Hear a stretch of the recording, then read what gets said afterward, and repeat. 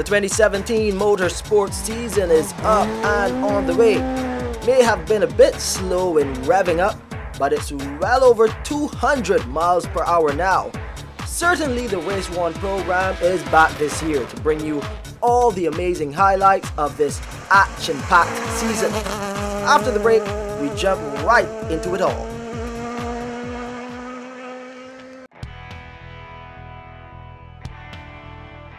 Welcome back to Race 1.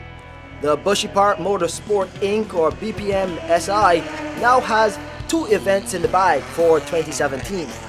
Club Chairman Sean Maloney told us all about those events and the club's plans for the remainder of the year.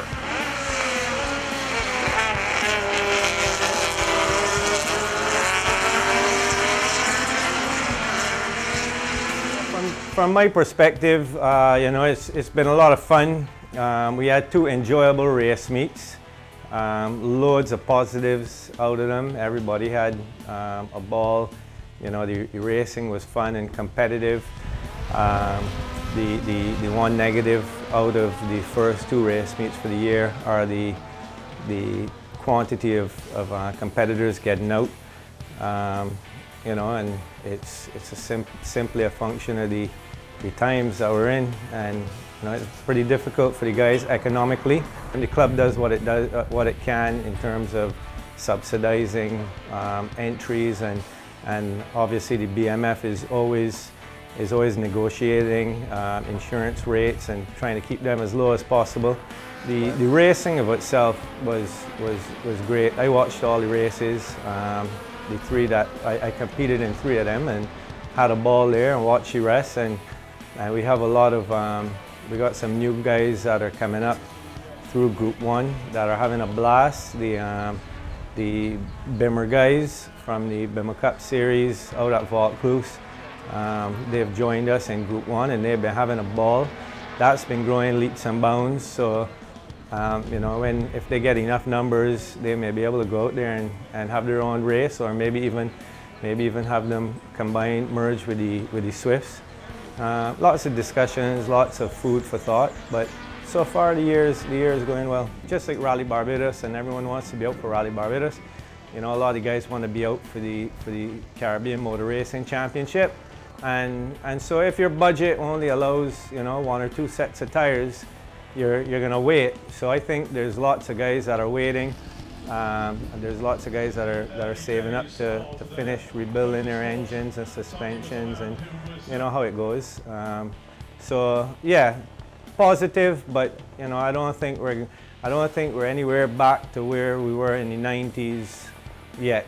I think that um, I think that on a whole things would have to um, improve in, you know, in, in Barbados in general before, before we get back to having a, a vibrant circuit racing.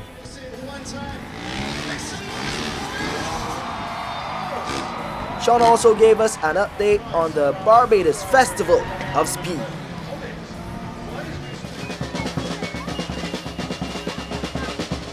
Festival of Speed is October 14th. Um, all of the all of the structural work for the for the lights is complete. Um, the and all of the underground work. The posts are in place. The concrete posts, the element of the posts, and um, it's just for the the actual light posts and lights to be installed now.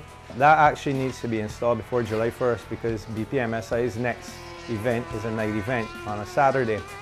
So that'll be up and tested before Festival of Speed. Festival of Speed, I'm sure everyone knows already, um, Jenson Button is coming in. I can tell you that it's going to be, um, we're going to have a, a, Formula One type vehicle on the track as well as in the air. And um, so think fighter jets and it's going to be, it's going to be awesome. Uh, when the particulars are are made public, um, you know, it's, it's, it's going to be a tremendous event. It's going to be, uh, there's going to be things unlike uh, we've ever seen before in Barbados. And, um, and I think every year the, the team that are putting Festival of Speed together are going to be challenging themselves to make it um, to make it even better. So you could almost shut your eyes and buy tickets for that now because it's just going to be an amazing show that, you know, generally you got to go to places like Australia and New Zealand and those kind of places to see the kind of aerial aerobics and, and action on the track that we're going to see on October 14th. So look out for an awesome year of events at the Bushy Park Circuit. Now speaking about events and staying at the circuit, we race right over to the Barbados Association of Dragsters and Drifters, or BAD. Drag racing in Barbados is growing at a phenomenal rate, with two events also in for 2017. Club chairman Jason Downey had some information to share with the Race One team.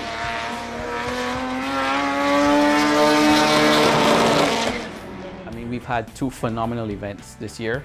Uh, our first event in particular had over 50 entries, and that is unheard of for any club to have such a great first event of the year.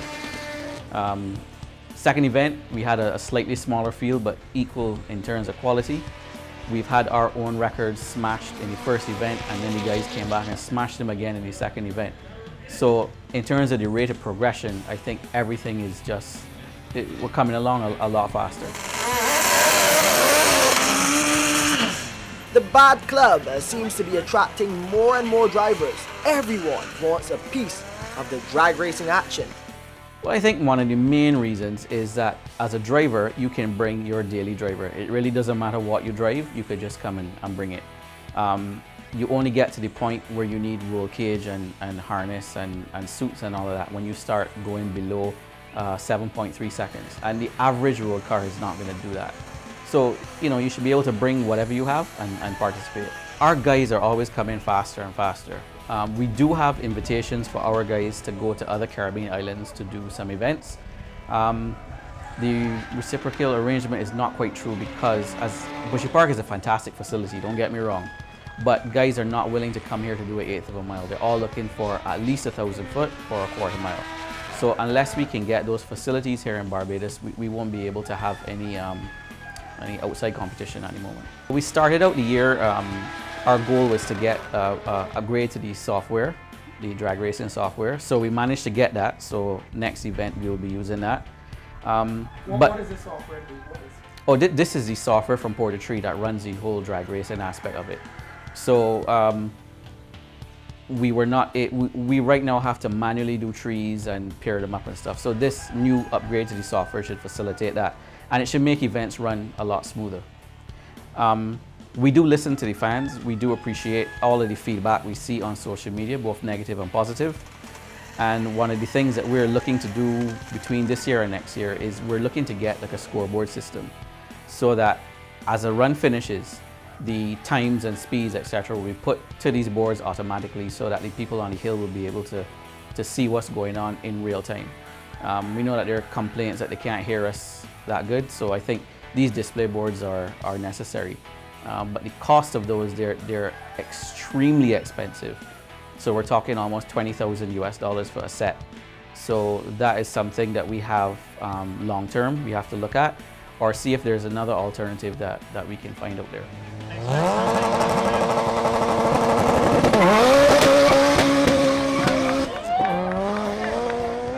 Jason also updated us about the Paragon drag strip. Paragon right now, I, I would say no. Um, we do have the length at Paragon, so Paragon has the quarter mile, but the feedback from the drivers is that the, the surface is not the greatest at all. So they, they don't feel entirely safe when you start getting up in those speeds in the quarter. So our next event is Sunday, August 20th, again at Bushy Park. And I had a word with, with the current record holder, Saul, Saul Yusuf, and you know, he, he has brought now two cars um, without cages, so he can't, he definitely can't come again unless he brings a third one.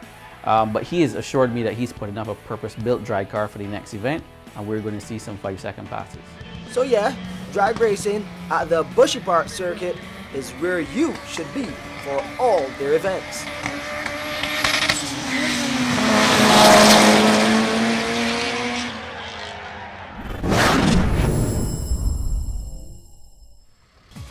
Getting on to the business of rallying now with the first uh, shakedown rally to Sol Rally Barbados, which had a 38 car entry list with 10 planned stages over 37 kilometers. Competitors were ready to take to the tarmac roads, of which would be the second event for the 2017 season.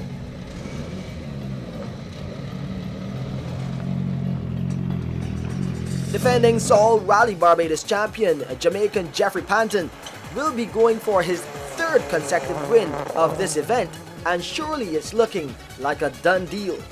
Barbados' Roger the Sheriff Skeete is aiming to bring the title back home to Barbados in the Subaru S12B.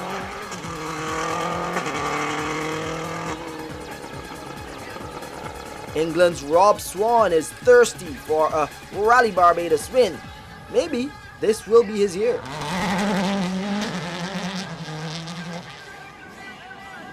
Barry Mears may be a bit too quick into that corner, but he's still working on handling issues with the car.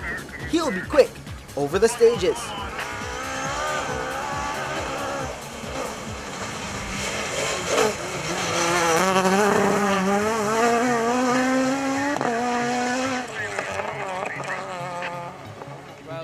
Problems with suspension. Um, so a lot of people saw, kept telling me car was very nervous, nervous in Stewart's Hill.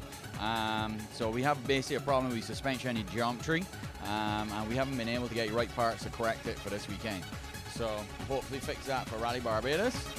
Roger Hill, for his part, will be aiming to stamp his authority in the WRC2 class. Brett Watson wants the top spot in the group of BMWs. Andrew Jones is fast and straight, but his wife, the co-driver, wants some sideways action. And then it's over to Mark Thompson in the Stag-sponsored Mitsubishi Evolution, nearly losing it at this Malvern turn. And there's the ever spectacular Neil Corbin. He now has the sideways title. Out for the first time in a while with no luck on his side is Calvin Briggs, who takes out this utility pole. He was soon up and running again, however, no serious damage to the car. And Avinash Chatrani comes into the corner a bit too quick as well, but holds it and avoids contact with anything. Good save. Justin Campbell in the BMW M3 hard on the brake, he'll have stiff competition in his group. Dane lying low in the Peugeot. Trinidad's David Coelho is back again for Rally Barbados 2017.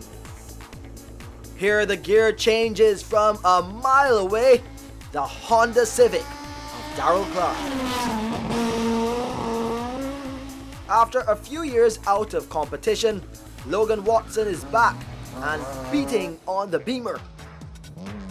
Stuart McCleary is sure to have the back hanging at every corner of Sol Rally Barbados. Then it's the Citroen DS3 driven by Paul Horton from Turks and Caicos.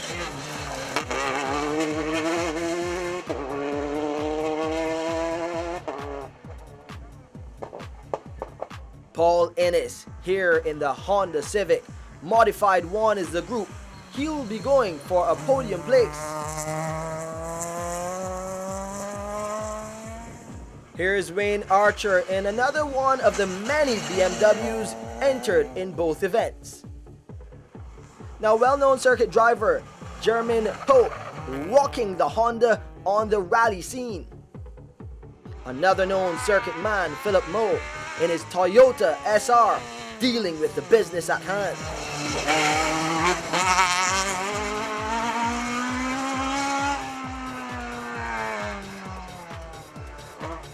We're seeing a few of this type of BMW recently.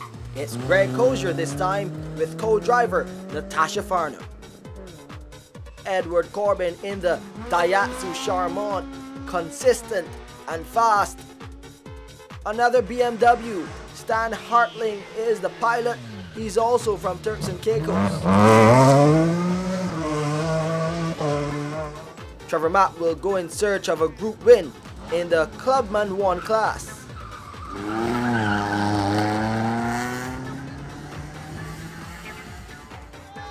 Also out for the first time in a while is Sean Cummins in the Stag sponsored BMW. Making it good for the third step on the podium for this event was Roger Skeete. He needs two steps up in a few weeks' time. We've had someone from overseas win the last two Rally Barbados titles. Are you going to bring it back home for us? Well, I mean, that's every time I sit in the car, that's my objective to represent Barbados first and foremost, you know, and then then all of my sponsors, Sol, Flow, Simpson Motors, Automotive Art, WTI, uh, best I can, as well as enjoy the event. Because if we aren't enjoying it, I'm sure spectators aren't enjoying it as, as they should, and they're an important component too. So, yeah, we would be giving them a tough time if possible. And the car is working a lot better than it has in the last three years. A lot of best. Thank you much. Rob Swan from the UK kept it neat and tidy to bring the Subaru home in second spot overall.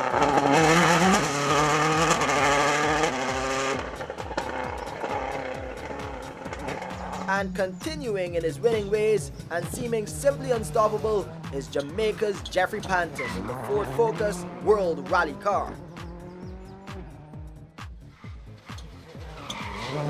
Very near miss there for Panton though. Luck surely is on his side. Are you going for the outright victory at Rally Barbados once again? Oh, most definitely. I think everybody is. Um, you know, we would really like to do a three-peat of you know having three in a row, and um, that's our aim and that's our goal. So it's on to the big ones now. The King of the Hill and Sol Rally Barbados events. King of the Hill serves as a final warm-up for competitors to Rally Barbados. Rally Director Neil Bernard provides us with all the info on these two events. Flow King of the Hill on Sunday, May 28th. We're going to use the same venue and stage we did in 2016 and 2015, which is Hangman's Hill up to Lane Castle through Vaucluse Raceway. That event runs from 10 until roughly 3.30, 4 o'clock in the afternoon and will encompass all of the drivers. This year, we're having four runs. All four runs will be timed runs uh, for a result. Last year, we had the first run as a sighting or practice run. This year, the guys go at it from the get-go. Now, on to Sol Rally Barbados. This year we're having a ceremonial start from Sol Warrens. On Friday, June the 2nd start, the rally will start at 9 p.m. And that will lead us straight into our first two special stages for the rally.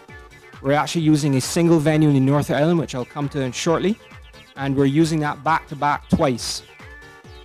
This single stage uh, forms the two runs, forms almost 10% of the stage mileage the entire rally. So it really does provide a bit of a baptism of fire for all crews uh, to kick off this year's event. Uh, is the finish this year returns to Bushy Park in St. Philip. We have a very technical two kilometer layout, which will take in elements of the full circuit, cart links, the bridge, and will also be the final time special stage of this year's rally. So this event, the final stage at Bushy Park, will actually count towards results. We are starting in Sailor Gully and ending in Diamond Corner. The stage is a shade over seven kilometers long. As I mentioned earlier, the competitors will do this twice. The first run will start at 10 p.m. We are linking this stage through a section that has previously unused for competition, and therefore this stage in itself is going to be new to all competitors. As I said, there are two components, which two, both of which have been used previously. One very seldom, which is about bit of a way in, and then one which has never been used before. So interestingly, we're starting off the rally on what we think is going to be fairly level, a pretty level playing field. So that's Friday night. On Saturday, we are starting with a version of a stage that we did last year, which was very successful and very warmly received by the competitors. Uh, last year, we started near St. Swithin's Church and went south towards Lambert's. Uh, sorry, we went south towards Luke Hill. This year, we're reversing this stage. This is the first stage on Saturday morning, and we're starting from Lambert's and finishing this at St. Swithin's in the north of the island. Uh, again, this stage is a lengthy stage, and again, will provide some, some good action to kick off the morning. if the guys hadn't already got the rust off from Friday night. From there, we go to our traditional KM Field venue and the stage there. We're starting, uh, it's actually, this stage is very similar to what we had done uh, last year. This year, however, we're going through the Vaucluse circuit on the way south. On Sunday, we start off with Toyo Tires Padmore. Uh, this is, again, the reverse version of the stage we ran last year. Uh, we're starting in Padmore Village, running out south of Bushy Park, through Mapps, but this year we're turning right, heading out to the end of the stage near Golden Grove. We have done this once before, again about four or five years ago. Um, the road's in pretty good nick, so we've gone back at that uh, to give the guys again some, some difference and changes in that, that stage. From there we go into St. John and we're running Malvern out to Tappy Pond uh, through Wilson Hill. Again, this is a traditional stage. What we're doing this year again is we turned it around we used it last year, so it's in reverse direction. And then finally, we go to Bushy Park. And this is the route that we have put together Bushy Park. Basically, it runs, it essentially runs the track in an anti-clockwise direction uh, and utilizes, as I spoke about earlier, uh, the bridge, several connecting uh, cart part, parts. Um, and it also encompasses a, a long uh, section down the whole of the front straight practically, which will end up with a hairpin, uh, and then back down where you came from, and then off into the infield, which should provide some pretty spectacular um, viewing for spectators in the stands. Yes, we're now getting started as we look forward to two weekends of some fast-paced action and you'll have all the highlights right here on Race 1. Be safe and enjoy the events.